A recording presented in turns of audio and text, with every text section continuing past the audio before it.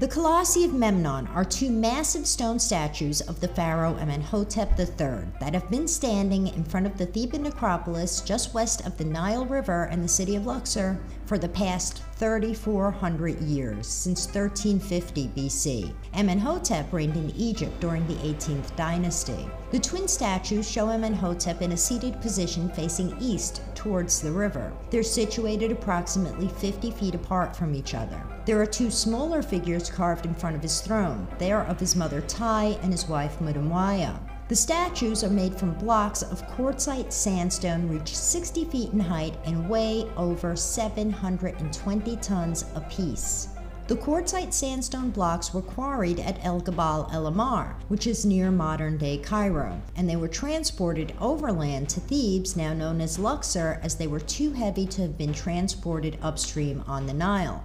That's over 420 miles of transporting megalithic blocks that weighed over 1,440 tons. The statues were originally constructed to stand guard over Amenhotep's memorial temple, an astonishing complex that covered over 86 acres and at the time was the most opulent in Egypt, as it was there that Amenhotep was worshipped as a god on earth both before and after his death. The North statue and eventually the entire necropolis became known as the Colossus of Memnon, which means the steadfast or resolute, after Memnon, who was the son of Eos, the goddess of dawn, a king of Ethiopia and a hero of the Trojan War, was slain by Achilles when he led his armies from Africa to Asia Minor. The North statue has been reported to cry or sing at dawn, and that is how the name became associated. Legends say that the vocal Memnon is a harbinger of good luck. The statues also became known as powerful oracles, and in their day, the site was heavily visited. Among those visitors were several Roman emperors. The earliest reports of the vocal Memnon were from an ancient Greek historian and geographer named Strabo, who claimed to hear the sound as early as 20 BC. By then it was widely known about, though, with many having described it as sounding like a blow or the string of a lyre breaking.